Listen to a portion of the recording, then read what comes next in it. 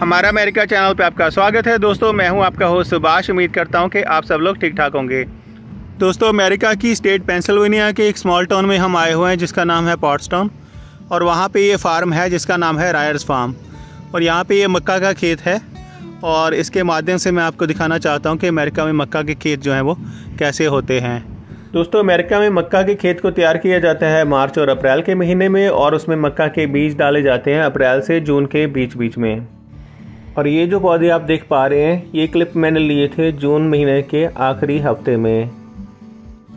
और आपको ये जानकर हैरानी होगी कि अमेरिका में जितनी भी मक्का की खेती होती है, उसमें ज़्यादातर जो है, उनको पानी जो है, वो नहीं लगाया जाता, उसकी सिंचाई नहीं की जाती, जैसा कि इंडिया में ट्यूबवेल से या नहर से की जाती है। अमेरिका में मक्का को जो पानी है, वो अपने आप ही लगता है, बारिश का पानी जो होता है वही उसको लगता है। और जिस साल यहाँ पे बारिश कम होती है, उस साल यहाँ पे मक्का की पैदावार भी कम होती है।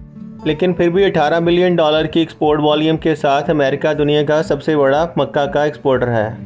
क्योंकि इनकी बिजाई जो है वो मशीन से होती है तो आप देख सकते हैं इनमें जो डिफरेंस है एक प्लांट में दूसरे प्लांट का। यहाँ से यहाँ और यहाँ से यहाँ। ये करीब करीब इक्वल ही है एक जैसा ही है। और ये छः से आठ इंच के आसपास जो है ये डिफरेंस है।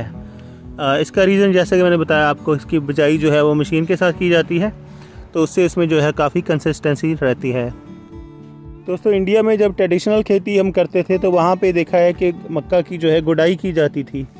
गुडाई मतलब इसको ज़मीन को जो है थोड़ा थोड़ा खोदा जाता था ताकि उसमें और ऑक्सीजन चली जाए, ताकि उसमें से घास वगैरह जो है वो भी निकाली जा सके। तो यहाँ पे वो वाला जो सिस्टम नहीं है। ये आप देख सकते हैं लाइंस में बहुत ज़्यादा डिफरेंस है। दो दो लाइंस जो है इसकी भुट्टा की यहाँ पे आप देख सकते हैं। तो इन लाइंस में जो है इस तरह से हल चला दिया जाता है कभी कभी और बाकी थोड़ा बहुत जो घास होता भी है, वो हर भी साइड जो है इसमें डाल के जो है उसको ख़त्म कर दिया जाता है। मक्का का पौधा जैसे जैसे बड़ा होता है, ये भारी होता जाता है। तो इसलिए इसको एक्स्ट्रा सपोर्ट की ज़रूरत पड़ती है, आप देख सकते हैं। क्योंकि जब हवा चलेगी तो इस तरह से झूलने से ही गिर सकता है। तो इसलिए नेचर ने यहाँ पे इसका सिस्टम बना रखा है, ये आप देख सकते हैं। इसको एक्स्ट्रा जड़ें जो हैं, वो लगनी शुरू हो जाती हैं। और ये बहुत ही नरम जड़ें हैं अभी यहाँ पे, आप देख पाएँगे। ये जैसे ज़मीन से टच करेंगे तो ज़मीन में घुस के जो है अंदर ग्रो होना शुरू हो जाएँगी। इसको थोड़ा और नज़दीक से देखें तो इस पर रूट कैप लगा रहता है यहाँ पे। एक कैप होता है। वो नेचर ने सिस्टम बना रखा है ताकि इसको प्रोटेक्ट किया जा सके जब तक ये ज़मीन में ना चला जाए। आज 31 जुलाई है यहाँ पे अमेरिका में और 31 जुलाई को आप देख सकते हैं जो भुट्टे हैं, इसके लगने शुरू हो गए हैं। दोस्तों, मक्का के पौधे के ऊपर जो फूल आपको दिख रहे हैं, ये वाले इसके साथ आप देख सकते हैं ये फूल लगे हुए हैं। इनको जो है ये मेल फ्लावर्स एक तरह से इसके, और ये छोटे छोटे जो आपको हिलते हुए दिख रहे हैं, ऐसे झूलते हुए। तो इस जो जो लटक रहे हैं चीज़ें, इनको एंथर्स बोला जाता है, और इनमें से पोलन निकलता है। अभी इन पत्तों पे भी शायद आप देख पाएँगे कि वो जो पाउडर नुमा चीज़ है पोलन जो है वो, यहाँ पे गिरा हुआ है। इसको अगर मैं ऐसे करूँ, हाथ इस पर फेरूँ तो मैं फील कर सकता हूँ कि उसमें जो है थोड़ा थोड़ा ग्रेनी सा उसमें फील आ रहा है। और वो पोलन जो है वो झड़ के इसके जो फीमेल फ्लावर्स होते हैं बेसिकली जो भुट्टे होते हैं कॉर्न ऑन द कॉब जिसको बोलते हैं जब पंजाबी में छल्ली बोलते हैं, उसके साथ को जो, ये जो बाल से लगे रहते हैं, इसको कॉर्न सिल्क बोला जाता है। इस पर जब वो गिरते हैं आके तो उससे फिर उसकी जो है कॉर्न की पॉलिनेशन होती है। और उस पॉलिनेशन के बाद जो है इसमें दाने बनने शुरू हो जाते हैं।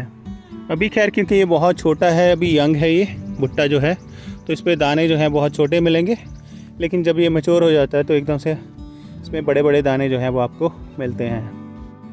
इस पौधे की अगर पैदावार की बात करें तो आप देख सकते हैं इन पर दो दो भुट्टे जो हैं वो लगे हुए हैं। ये जो आप देख सकते हैं इसको पंजाबी में छली बोलते हैं हमारे, अंग्रेज़ी में इसको बोलते हैं cob, corn on the cob, और हिंदी में इसको भुट्टा बोलते हैं। तो इसको अगर खोलेंगे तो इसमें जो मक्का के दाने जो हैं वो आपको मिलेंगे।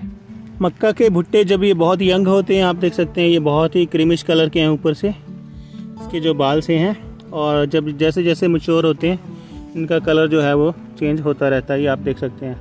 ये थोड़ा मच्योर वाला है, बड़ा वाला, और ये एकदम से यंग वाला है। तो इस तरह से आप इसको देख पा रहे हैं।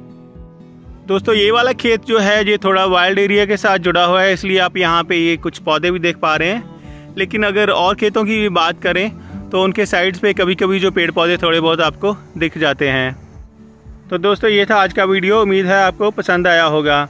आपसे मिलेंगे एक नए ब्लॉग में। तब तक आप और वीडियोस देखते रहिए आपके अपने चैनल से, जिसका नाम है हमारा अमेरिका।